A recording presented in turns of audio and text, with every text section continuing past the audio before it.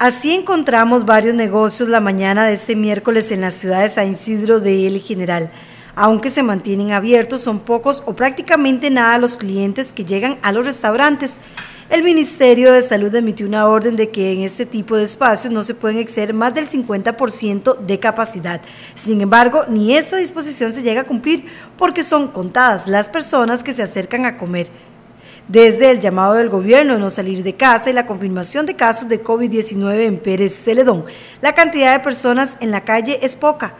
Y es que esa situación ya está afectando los bolsillos de los dueños de los negocios, quienes piensan en las diferentes responsabilidades que tienen y en los empleados. Bueno, sí nos ha bajado muchísimo, por supuesto, la gente de ahí no quiere andar en la calle, ¿verdad? Entonces, por ende, pues la gente no sale, no viene a consumir, por lo menos yo calculo que sí nos ha bajado, de un 50 a un 70% sí nos ha bajado. ¿Y económicamente cómo le va a hacer una empresa como esas ante esas circunstancias? Dígamelo usted. Esa es la pregunta del millón de dólares, ¿verdad? No sabemos, o sea, no sabemos. Vamos a ver si el gobierno nos va a ayudar, ¿verdad? Porque aquí la idea es que de, si perdemos uno, que perdamos todos, ¿verdad? Y entonces vamos a ver si el gobierno nos va a dar ese empujoncito y porque o sea no es solo no es solo yo es mi familia que trabaja aquí todos verdad mis empleados que son como mi familia o sea yo en el momento en que yo les digo que no hay trabajo que van a hacer ellos o sea tienen que, que, pagar obligaciones tienen que pagar alquiler tienen que pagar agua tienen que pagar luz. Entonces vamos a ver a ver yo espero que, que sí el gobierno nos apoye verdad con, con darnos una manita por lo menos no se les ha cerrado hasta cierto punto, digamos, totalmente local, ¿verdad? Fue lo que le hicieron fue algunas restricciones, pero no se ha cerrado como en el caso de los bares y, también las discotecas. Sí, nosotros lo que hicimos aquí es que en la barra, ¿verdad? Eh, quitamos eh, por lo menos el 50% de las sillas, sí le decimos a los clientes, ¿verdad? Que no se nos junten, que estén separaditos, eh, tenemos alcohol en gel, tenemos la rotulación que nos dio el Ministerio de salud, que la pusiéramos, tenemos gel para que los clientes estén limpiando las manos, estamos limpiando constantemente. Lugares que antes eran visitados y que se llenaban ahora están vacíos. Ha estado bien difícil, la verdad, es muy poca la gente que llega a estos lados. Normalmente siempre pasa lleno, ¿verdad? Un espacio como este. Eh, sí, bueno, más que todo en quincenas. En quincenas sí, sí se ve bastante gente y en tres semanas también.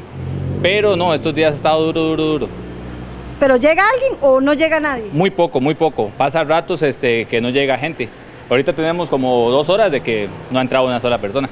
Bueno, y ustedes como colaboradores me imagino que eso es preocupante porque dependen totalmente de un trabajo como este. Claro, claro, este, para nosotros como colaboradores y tanto como para el patrón, porque de ahí hay cosas que, no se detienen, eh, las pólizas, las cargas sociales y nosotros el 10% este, se nos baja también un montón.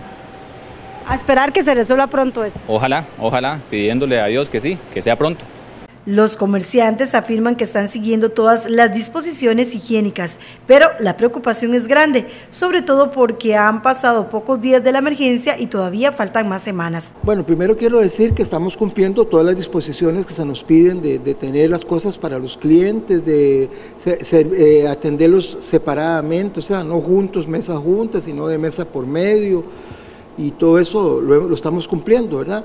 Pero realmente la gente ya no está viniendo. En el momento que apareció que ya hay casos en Pérez Celedón, pues la gente se ha corrido casi de, que de todos los, los, los negocios y nosotros no somos la excepción, también aquí casi la gente ya no viene, ¿verdad? Y estamos muy preocupados por, por, el, por, el, por el negocito y por los, por los trabajadores que tenemos también nosotros. Me dice usted que hay mucha responsabilidad detrás de todo un negocio. Ah, sí, por supuesto que sí, muchísima responsabilidad. Hay que pagar todo, los salarios y pagar las cargas sociales y todo, como, como, lo es, como es normal, ¿verdad?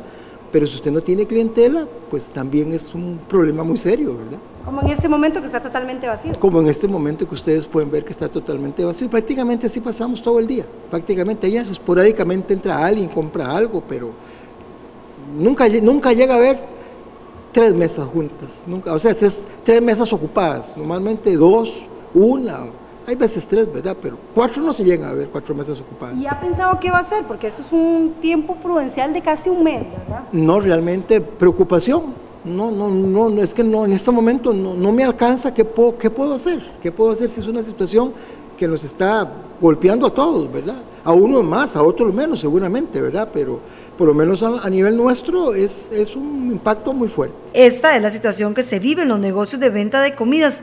La preocupación es constante con tanta responsabilidad que tienen.